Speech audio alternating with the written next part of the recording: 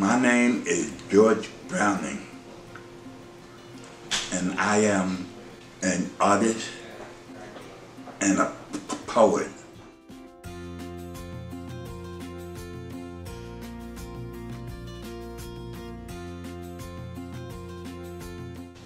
You remember Apollo 13? That started my space sat saturation. Some of my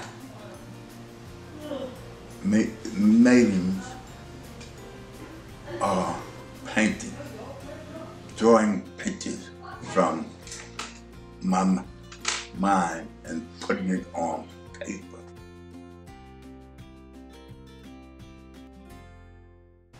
I I learned how to do art by one, by tracing superheroes.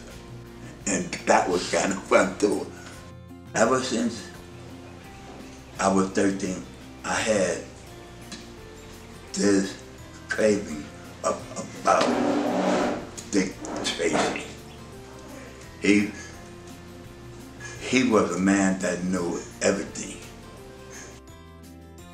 This is about a family who have went into space and this twins, teenager, a mother and a father, and they get into all kinds of trouble.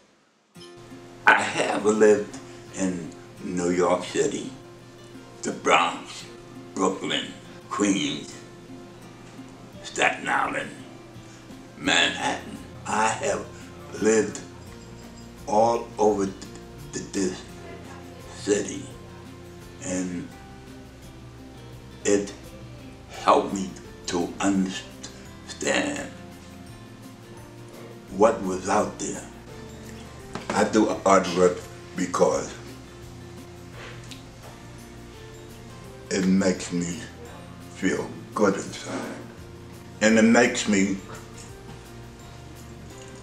feel I have created something that nobody else did.